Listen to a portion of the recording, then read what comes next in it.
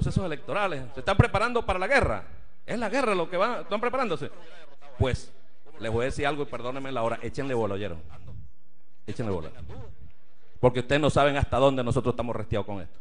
No saben, no tienen ni la menor idea, señores dirigentes de la oposición.